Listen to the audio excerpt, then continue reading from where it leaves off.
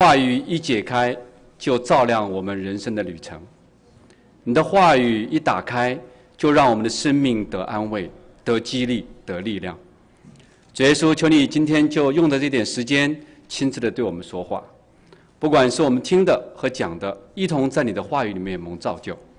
主，求你的灵亲自的保守我们，让我们所讲的都合你的心意。让我们一起在你面前仰望的时候，主你就大大的恩待我们，要把你天上的奥秘向我们解开。谢谢主，求你听我们的祷告，奉主耶稣基督宝贵的名，阿门。嗯，生命记是神的话语，是神借着摩西的口，在摩押平原，在即将进入迦南地的时候。在以色列人马上要结束四十年的旷野生活，进入神的应许之地的时候，像以色列人所说的话。如果说，如果说创世纪是神的旨意的话，那出埃及记就是神的工作，立位记呢，就是神的道路，民数记呢，就是神的脚步，那到了生命记呢？就是神的话语。许多人认为《生命记》是摩西向以色列人重申神在西南旷野启示的诫命、律律和典章，但显然这不是简单的重复。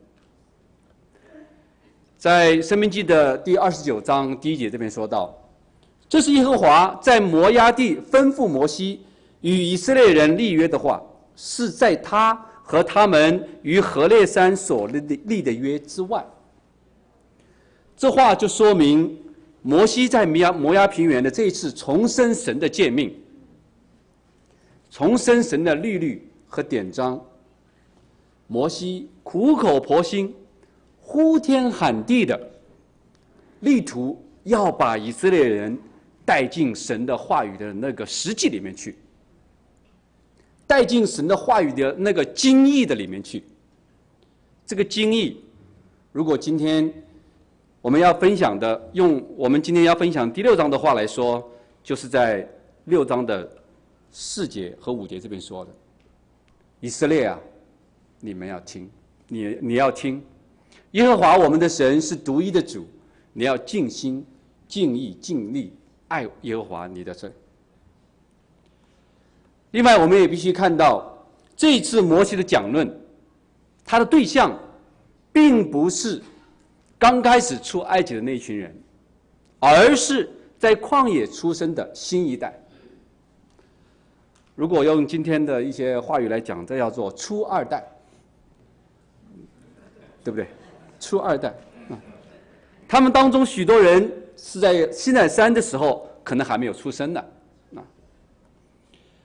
生命记分为三大段，那第一段是第一章到第四章，这是摩西的第一个讲论，这是讲历史，啊。第二大段呢是五章到二十八章，这是讲律法。第三大段呢是二十九章到三十四章，是讲预言。那今天我们就来到了第五章。第五章是摩西重申十诫。如果我们看整个第十、第十、第五章的话，啊，主要的这个内容都是摩西在重申十诫。第五章呃的第一节这边说，摩西将以色列众人招了来，对他们说：“以色列人呐，我今日晓谕你们的律律典章，你们要听，可以学习，谨守遵行。”大家。如果有圣经的话，请把圣经打开到啊《生命记》第五章啊。这里的讲，摩西将以色列众人招了来。这个众人，就是我们刚才讲的这个初二代，是在旷野的第二代第二代人哈。这里我们一看见摩西在这里交代以色列人的一个一个态度啊，对利率和典章的态度是是什么呢？第一个要听，要听；第二个要学；第三个要守，啊，第三个守；第四个要行。啊，在前面在重生十诫之前，摩西啊，上帝借着摩西的口来表达神对以色列人的几点心思。我们在这个前面的几段啊几节章几节经文里面，我们一起来学习一下。第一个就是五章第一节这边讲到的，我们对律诫命、律律典章是一个什么样的合一的态度呢？是一个什么样的有福的态度呢？那神借着摩西口提醒我们说：听、学、守、行。五章第二节，耶和华我们的神在何烈山与我们立约。耶和华我们的神在何烈山与我们立约，与我们立约。大家知道，我们摩西现在所面对这群人是谁？是初二代，不是第一代人。从这里我们可以看见，神在西奈山与以色列人立约，今天又在这里与这些第二代的人说与我们立约。可见，在神的眼中。以色列人是一体的，在《生命记》第三章这边说：“这约不是与我们列祖立的，乃是与今日与我们今日在这里存活之人立的立的。”可见呢，我们的神呢，他是超越时空的神，他是超越时间的神。我们的神是活人的神，我们的神不是死人的神。在马太福音里面啊，五章呃的马太福音的二十二章三十二节这边说，他说我是亚伯拉罕的神，是以撒的神，是雅各的神。神不是死人的神，神是乃是活人的神。我们的神是活人的神，我们的神是今天我们这一些信靠他的人，全地的人活人的神，他是超越时空的。那个时候，对于这二代来说，神是与他们立约。那今天，神也是在我们当中行走，与我们立约的一位神，是我们这些活人的神。在五章，在五章四节和五节这边说，耶和华在山上从火中面对面与你们说话。这第四节和第五节这边，我们可以看见很有意思的是一件事情。就是神说我是面对面与你们说话，神是要面对面和我们说话。可是人我们人呢，要不要和神面对面啊？啊？我们看见这个经文里面怎么说的呢？这个经文里说第五第五节这边说，那时我站在耶和华和你们中间，要将耶和华的话耶和华的话传给你们，因为你们惧怕那火没有上山。这一段故事，等一下在下面的经文当中还会讲述。这边讲到神的心意是要与我们面对面，可是呢，我们人呢却很怕跟神面对面。那个时候的以色列人是这样，今天我们仍然仍然也是这样。这边说你们你们怕你们惧怕那火没有上山。以色列这些人怕火，哎，那摩西当时为当时为什么不怕火呢？难道说那火只烧以色列人不烧摩西吗？如果是怕火的话，那摩西也应该怕才对。不是因为怕火，乃是怕见神。一个罪人，在神的面前是不能够站立的。一个。一个犯了落在罪里光景里面的人，他就会从神的面前隐藏出来，隐藏出去，就像亚当当年犯罪，在伊甸园里面，也是从神的面前把自己藏起来。所以，人在神的面前呢，是一个非常可怜的光景，是一个非常可怜的光景。人很怕见到神，但是神的心意呢，他是要与我们面对面。那。我们的神仍然是一位极有怜悯的神，神知道我们的光景，所以呢，神就让摩西站在这些人和神之间。那摩西实际上是一个人与神之间的中保的一个预表，换句话说，也就是主耶稣基督的预表。在五章第六节这边说：“我是耶和华你的神。”曾将你从埃及地为奴之家领出来，我们知道，从第七节开始啊，就是重生十诫，重生十诫。我们知道律法呀，都是冷冰冰的，都是很严厉的，都是无怜悯的审判的。但是，神在重生十诫之前，竟然说了这样一句话，就是说：“我耶和华你的神曾将你从埃及地为奴之家领出来。”竟然有这样的一句话，这句话是什么意思呢？这句话我们让我们可以看见，神实在是一位十分有怜悯的神。我们看到了神的心意是美善的，神是要重生律法，但是神也要告诉你说，我的心意是美善的。律法是冷冰冰的，但是神的心里是火热的。他要我们看见他的心意是美善的。他要告诉我们，他是救你们的神，他是救我们的神，而且他也是爱我们的神。所以从五章第六节这边看见，神是有恩慈的一一位神，他用恩典来待我们。从第七章开始，从第七节开始，就开始重生实践。第七节，除了我以外，你不可有别的神，这是第一诫命。只有他。是唯一的一位真神。第二，从第第八节到第十节，这边是第二诫命，你不可为自己雕刻偶像，不可拜偶像。第二诫命是不可拜偶像。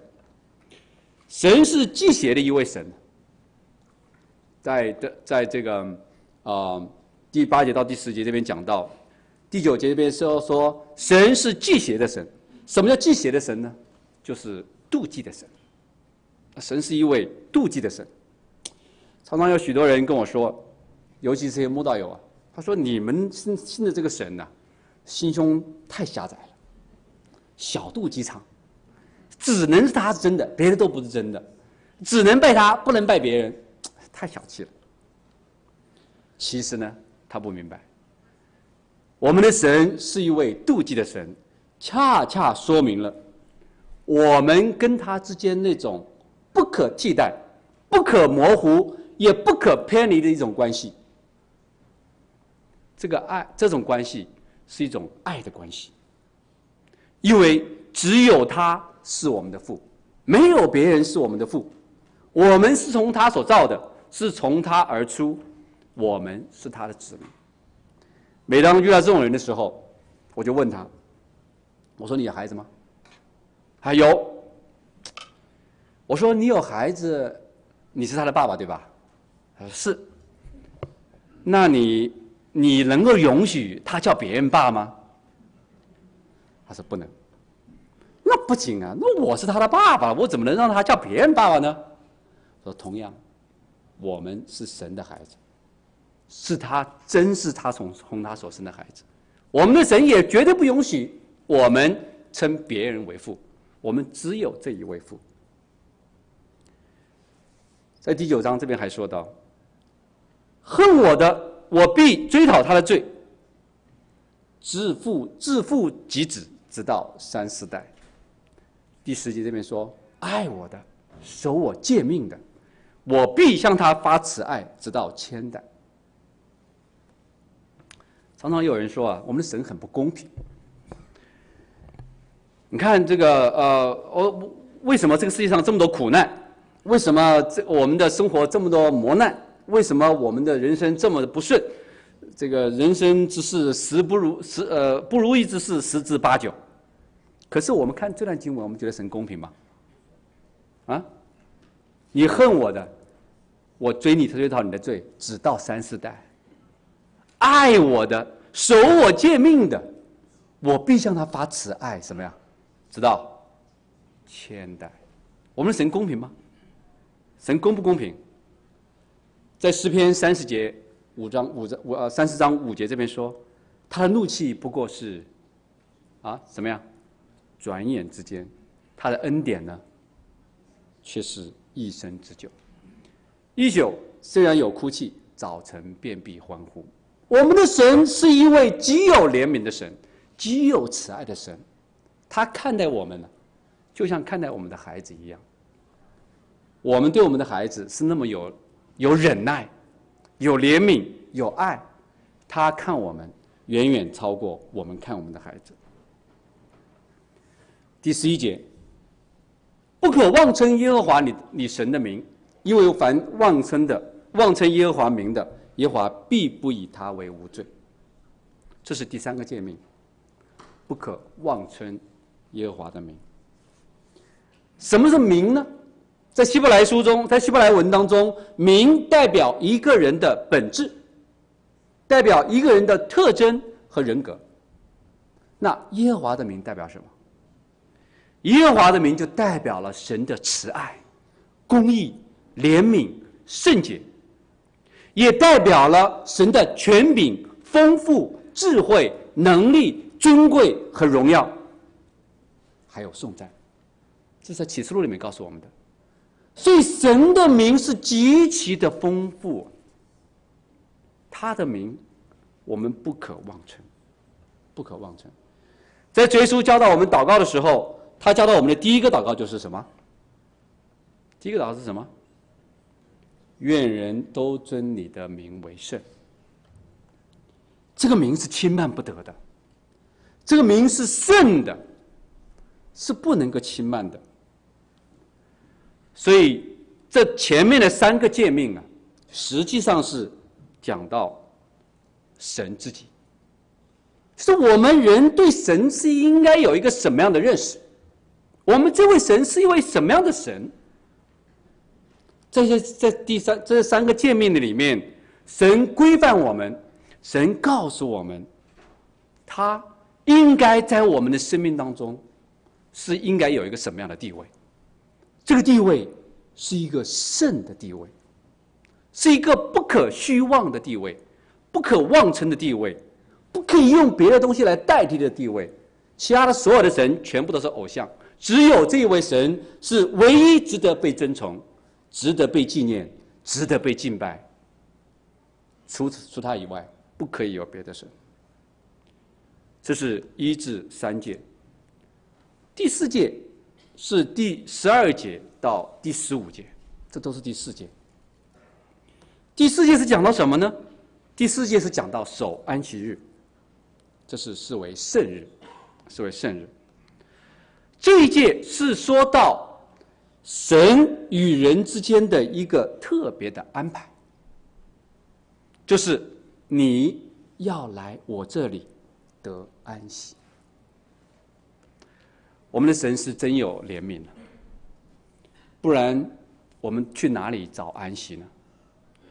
今天你跟人打招呼，已经不再说呃吃饭了没，对吧？而是问什么呢？最近忙不忙？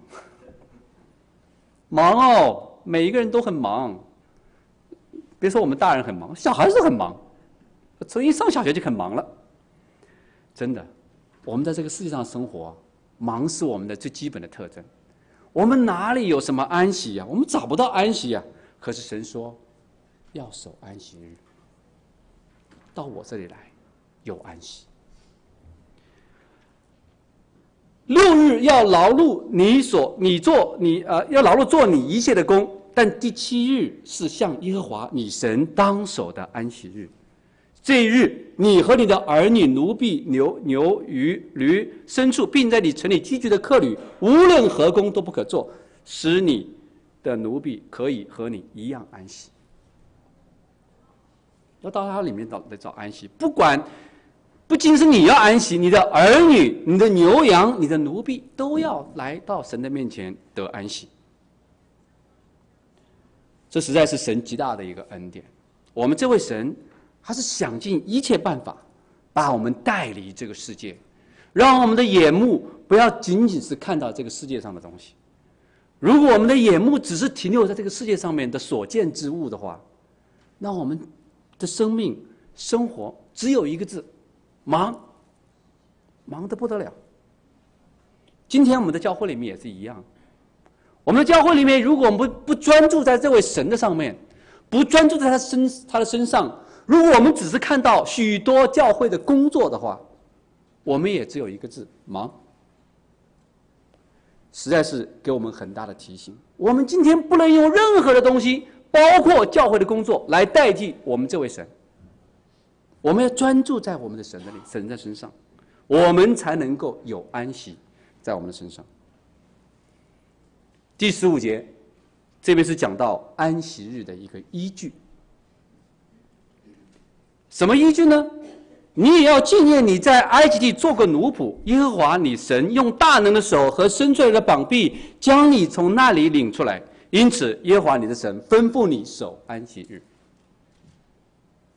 安息日的依据是什么？安息日的依据是救赎。这边讲到，安息日的依据是救赎。可是，在出埃及记里面，我们看见神吩咐守安息日，那个那个依据好像跟这个依据不太一样。在出埃及记第二十章第十一节那边说到，因为六日之内耶和华造天地海和其中的万物，第七日便安息，所以耶和华赐福于安息日，定为圣日。我们看见在出埃及记里面，神吩咐守安息日的依据是什么？是依据神的创造。那边那里是讲到创造，这里是讲到救赎。其实不管是创造还是救赎，都是神的目的。神有一个什么样的目的呢？就是要安息。神创造是为了安息，他要找一个安息之所。神救赎我们也是为了安息，使我们得安息，然后他也可以安息在我们的里面。今天神在满世界寻找，要寻找一个安息之所。哪里是他的安息之所呢？今天我们的里面可以成为神的安息之所吗？今天我们的家可以成为神的安息之所吗？今天我们这个被称为神的教会的地方可以成为神的安息之所吗？神要找一个安息之所，但愿我们可以提供给他一个安息之所。但愿我们每一个人的家都可以成为博大尼的家，可以成为我们主耶稣常常想念要去那里得安息的地方。不管是创造还是救赎，都是为了安息。这边顺便讲一下安息日的范围。安息日在圣经里面是特别给犹太人的，从来就没有超越犹太人这个范围，所以安息日只给犹太人。新约的圣经从来没有教导我们要守安息日，我们要守的是主日，不是安息日。如果哪个教会说他是安息日什么什么什么会，那我们只能说他是异端。新约的圣经、新约的教导从来没有提过安息日的教导，要教导我们守的是主日，因为主在这一日复活了。我们的主来了，他来成就了，他是安息日的主，他来成就了一切的律法，而今主日才是我们当纪念的，因为主在这一日复活了，主要我们纪念的是他的死和他的复活。主日，换句话说，它的意义已经远远的超越了安息日，已经成全了安息日。如果我们看初代的教会，我们看使徒行传，我们看新约圣经的其他的书书卷，我们就知道他们从来没有守过安息日。新约的教会，但是他们有守主日。我们的使徒行传里面看见保罗在主日里面跟门徒一起薄饼聚会，在启示录里面我们看见使徒约翰也在主日的里面看见了异象，遇见了那在荣耀里面的救主耶稣基督。所以安息日只有对针对啊犹太人，新约的圣徒，新在新约里面的，在恩典之中的，在主耶稣基督基督里面的圣徒们，我们是要纪念主的死和主的复活和主的再来。五章的十六节，这边是第五诫，当照耶和华你神所吩咐的孝敬父母，使你得福。并使你的日子在耶和华你神所赐的地上得以长久，这被认为是一条带应许的诫命。第五节，第五呃第五届到第十届是讲到人与人之间的关系。我们很很容易就发现，在这里我们看见神在十诫里面是先讲到我们与神的关系，然后才讲到我们与人的关系。这似乎是在告诉我们，我们如果不能跟神的关系处理好，如果我们不能跟神和好，我们人与人的关系永远和不了好。所以在实践里面，神是先讲到人与神的关系，然后才讲到人与人的关系。实践里面，在实践里面后面这几节，今天大概没有时间详细的一一的分享，我们就稍微啊带过一下。我们还有一点发现，就是在实践里面，我们发现竟然有七戒是用“不可”这样的字，弟兄姐妹。当你看到十诫的时候，你读到十诫的时候，你心里面会有个什么感觉？你心里面一定会有个感觉：神不可让我不可做这个，让我不可做那个。神也是非常的无奈，为什么要要用这样的字呢？这恰恰就说明了我们人犯了罪以后处在的一个光景里面。什么样的光景里面呢？就是一个堕落的光景。神只能用这样严厉的字眼来给我们规范，来给我们教导。既然有七戒是用“不可”这样的字，我们的光景就是这样，在堕落的里面，所以神才这样子对我们说话。那在新约的里面，主耶稣把这个十戒呢归纳成两点，哪两点呢？第一点。就是爱神，第二点就是爱人。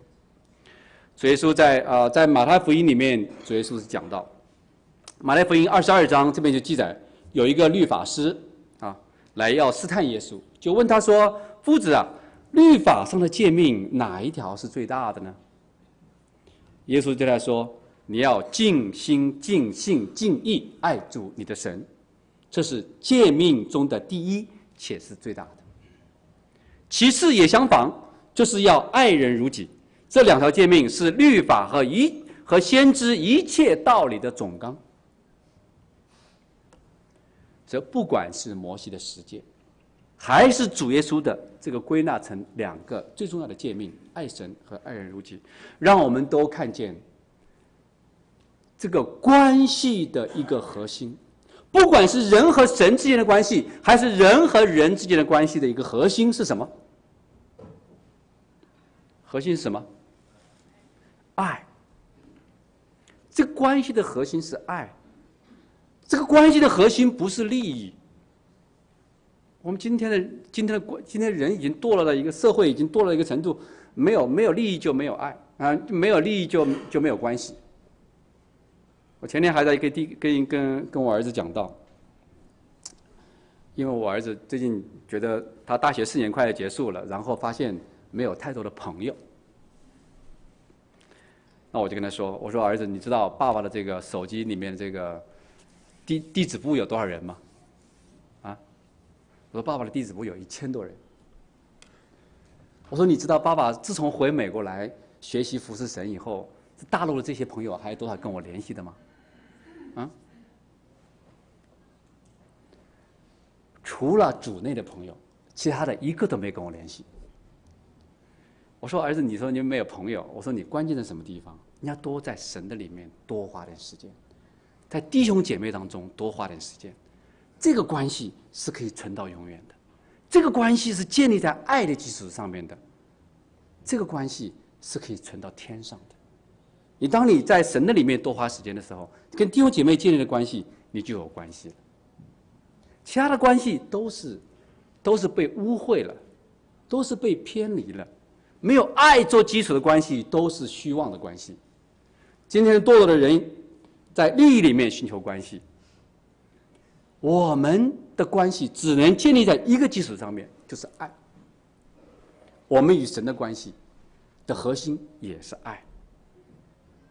是爱，不是恩典这话好像啊，不要我们不要这个简单的去呃去去看待这个事情。我讲我讲关系的核心是爱，我们的神是给我们极大的恩典，但是最重要的是一个爱的关系。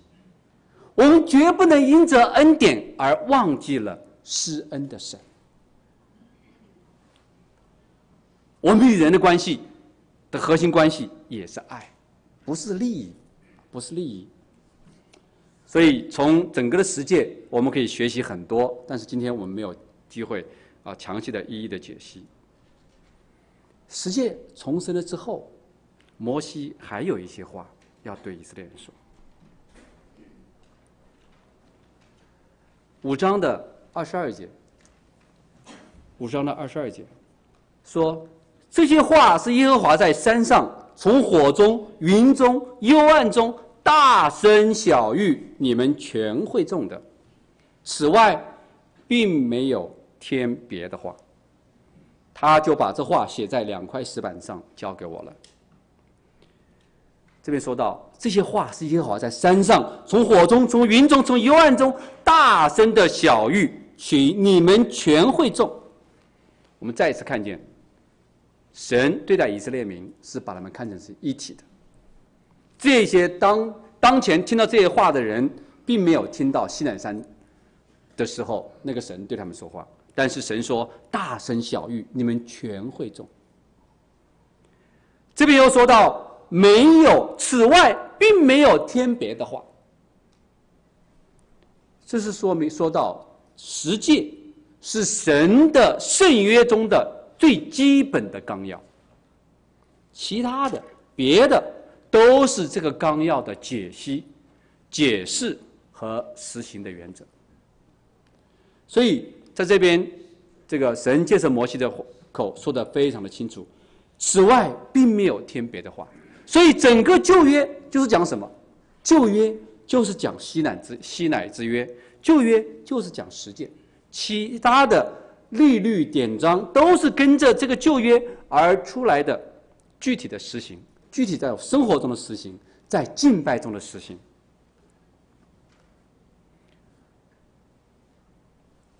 五章三二十三节到二十七节，这边是神在再一次的讲到当时在西乃山旁边的时候，神是怎么样把这些话。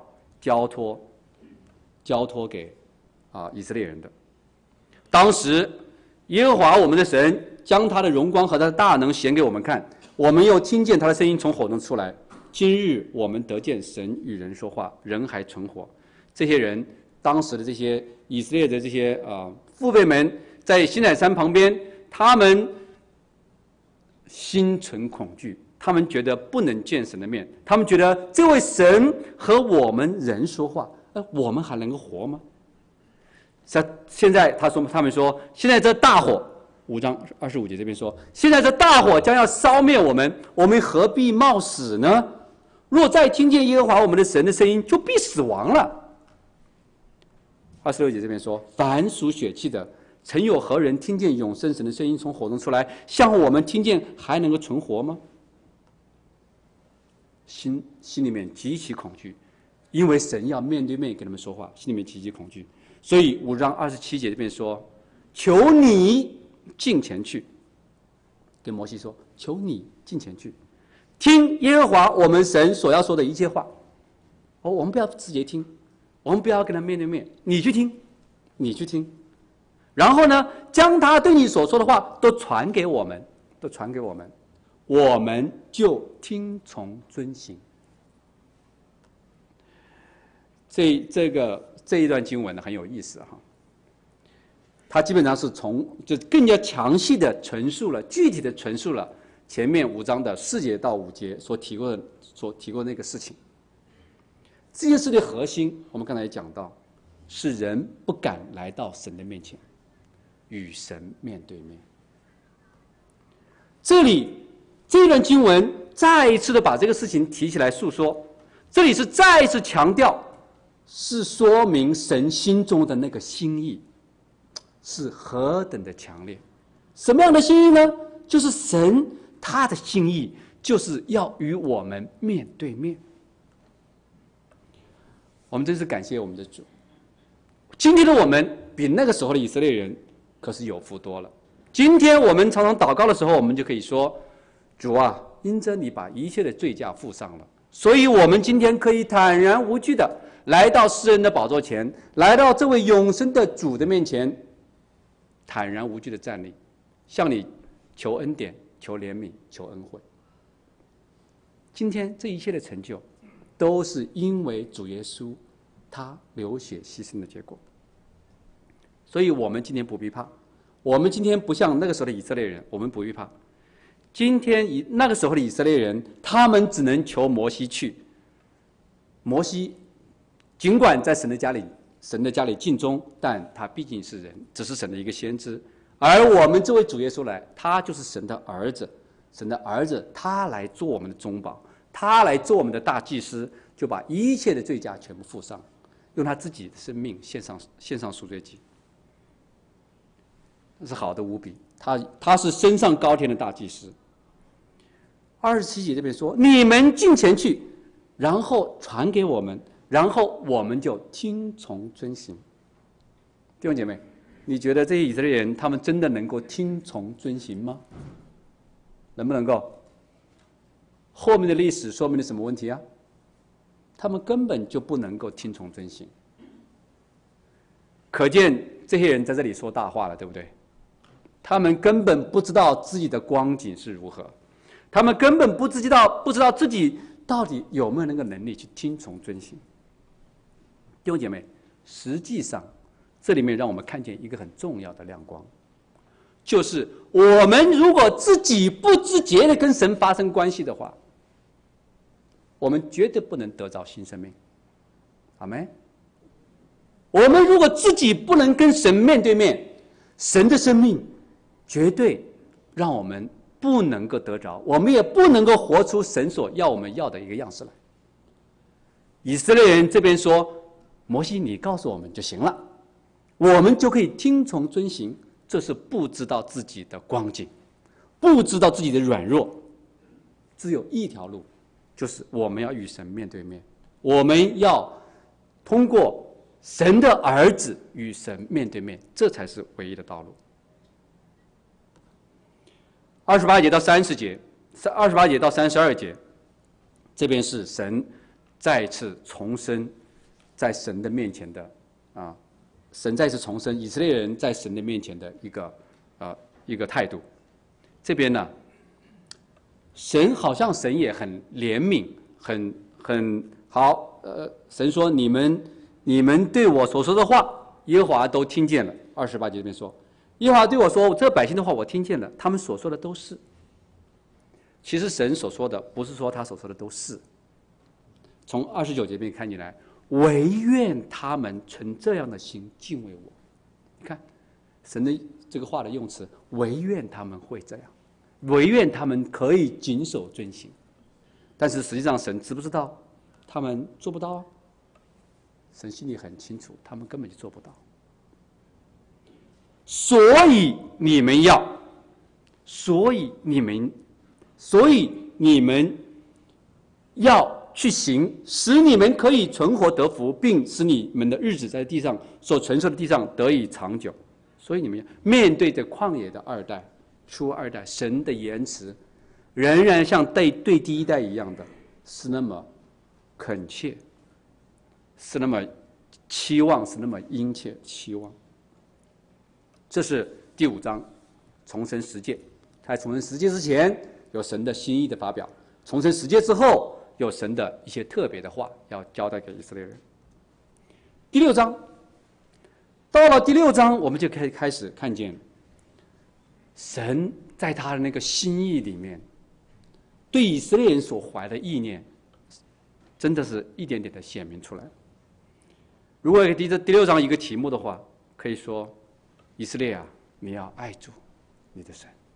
神对我们的期望就是要我们爱他，对我们神给我们的关系，希望我们跟跟他建立一个关系，就是建立一个爱的关系。第六章的一的一节到三节，这是敦促。敦促我们谨守遵行神的诫命、律律、典章。第一节说：“这是耶和华你们的神所吩咐教训你们的诫命、律律、典章，使你们在要在所要过去得为业的地上遵行。诫命就是讲神的十诫，律律就是讲献祭和节期的一些啊一些安排、一些规范，典章就是讲各样的社会生活的规范。从第一节到第三节，我们看见神。”是这样的，殷切的期望这些以色列民可以谨守遵行神的话。这三节圣经都提到“谨守”这个字。我们再次看见神的那个心情是何等的迫切。以色列人马上就要进迦南地了，他们到了那里以后，神的心啊，面对马上要进埃及，呃，埃及，呃，以色列人马上要进。一迦南地的时候，神的心里面其实是充满了担忧的，所以他一而再、再而三的耳提面命、苦口婆心的告诉、提醒以色列人：你们要谨守、遵行我的诫命、律律和典章，把这些东西一定要牢记在心呢。从第四节到第九节，这是这段经文是点出了神的。诫命、律律、典章的实质是什么呢？就是爱神，过一个爱神的生活。这个律律典章的实质就是认识神，就是跟神建立那个爱的关系。律律、诫命和典章的重点，并不是规范我们的行为，而更重要的是要让我们。通过这些律律、诫命和典章，认识我们这位神，认识他的性情，认识他是一位什么样的神，认识他自己，从而我们可以跟他建立一个爱的关系。在加拉太书三章二十四节这边说，律法是我们训蒙的师傅，引我们到基督那里，使我们因信成义。所以我们看见神在这段经文里面，我们也是一一样的可以看见这一点。重点不是这些律律典章和诫命，重点是要爱我，是要爱这位神，而且要过一个爱神的生活。四节到五节实际上是主耶稣引用过的，就是刚才我们在马太福音里面啊读过的，在马可福音里面也有类似的记载。那六节到九节就是讲一个爱神的生活。一个爱神的生活是一个什么样的生活呢？第一个就是我们的心要如何？我们的心要牢牢的记住这些东西，记住这些神的诫命、律律和典章。第二个，这些律律典章要教导我们的儿女，要教导我们的儿女，而且要时时的谈论，时时的谈论。不但如此，我们的身上、我们的额头上、我们的手上都要带着这些诫命和律律典章，就是我们的身上要有一些印记。啊，身上要有一些神的记号，要知让人看出来，我们确确实实是把这些利率诫命和典章活出来的。不仅如此，在我们的财产上面也应该有一点印记，不管是我们的私人的房屋上面，还是我们的城门口，都要把这些东西，把这些神的利率诫命典章放在这些地方，时时提醒我们，让我们的出和入都知道按照神的心意而行。这就是一个爱神的生活。前两天我有次跟弟兄一起交通到，当我们有一点闲余的时间的时候，你第一个想到是干嘛？啊？你第一个想到是，我们去娱乐娱乐，还是说，当我们有点闲余的时间的时候，我们就来亲近一下亲近神，我们读读圣经，我们来跟弟兄交通，这是一个标志。我们是是不是时时在谈论他？我们是不是时时在思想他？他真的是不是我们生活的中心？这个就是一个爱神的生活和一个不爱的生活的关键。第十节到十二节，第十节到十二节，这是神在提醒以色列人，他们马上会面临的一个光景。什么光景呢？他们进入到迦南地。他们进入了，进入去了这个德维业的地，神的应许成全了。他们吃了那地的出产，而且饱足了。然后之后呢？他们面临一个危险。他们面临一个什么样的危险？十二节这边讲到怎么说呢？十二姐说：“那时你们要谨慎，免得你忘记将你从埃及地为奴之家领出来的耶和华。”神的心啊，非常的缜密。他知道我们的罪性，我们的罪性啊，就是得恩忘神。一旦我们得饱足了。一旦我们得得了那个呃应许之地了以后，我们得了这些丰盛的恩典，我们吃饱了，饱足了，我们就忘记这位施恩的神，就是我们本性。所以神的这边要特别提醒以色列人，在你得着为业之地以后，你们要警醒，要谨慎，免得你忘记我。十三节到十九节是在这里告诉以色列人。你们该如何纪念领我们出埃及的神？十三节这边说到，你要敬畏耶和华你的神，侍奉他，指着他的名起誓。所以第一个就是我们怎么样纪念纪念那领我们出埃及的神呢？第一个要敬畏他。第十四节这边讲到，不可随从别别的神。第十五节这边讲到，唯恐你要因为知道你要知道耶和华是忌邪的神，唯恐耶和华你的神的怒气向你发作。第六十六节里面讲到，你不可试探耶和华你的神。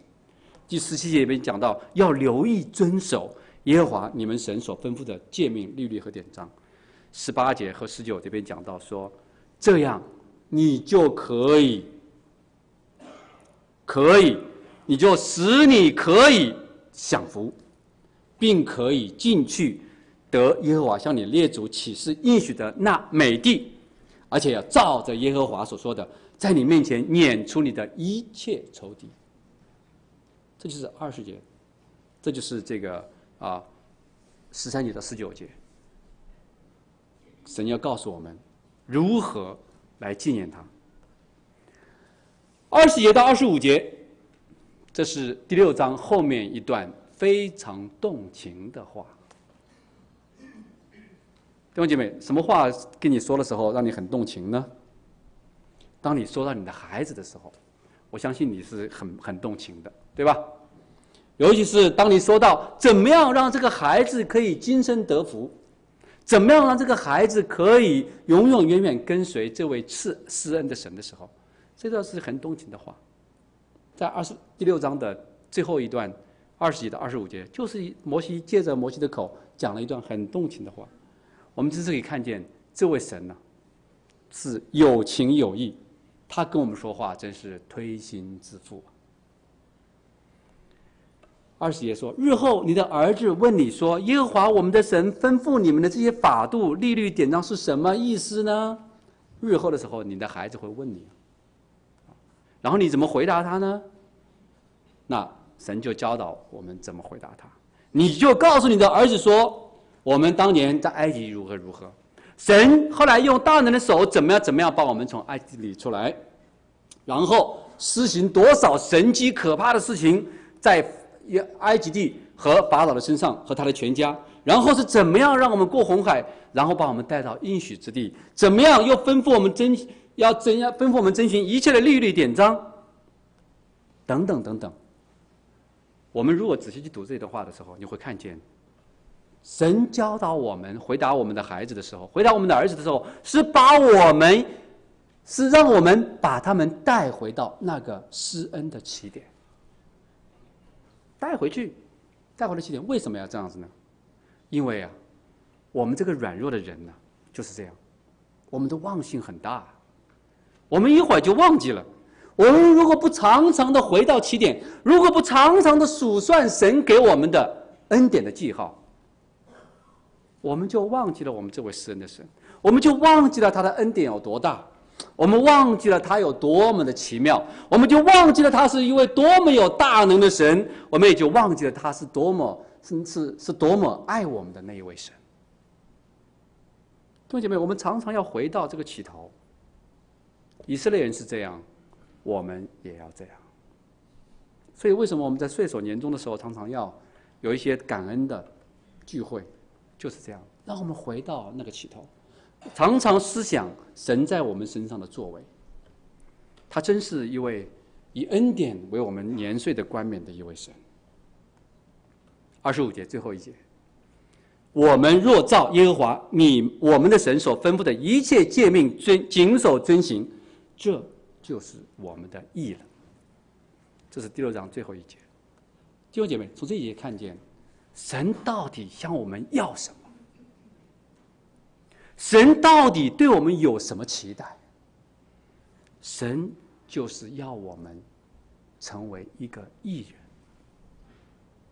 要让我们可以得称为义。以赛亚书六十四章六节这边说：“我们都像不洁净的人，所有的义都像污秽的衣服，我们都像叶子渐渐枯干，我们的罪孽好像风把我们吹去。我们有义吗？我们没有义。”在律法的面前，只能显出我们是一个罪人。而今，因着主耶稣，他在十字架上面流血舍命，因着我们的信，也是因着他的恩典，我们可以得成为义。神就在我们身上把他的义做成。这就是神的心意。以色列人他们知道这样的一个道路，但是他们行不出来。今天因着我们因着信，因着他的儿子的恩，我们就得成为一了，我们就成为神心中的心上人。真的是要把一切的颂赞荣耀，都归给我们的主。愿神借着这两段这两章的经圣经的经文，祝福我们。我们一起来祷告。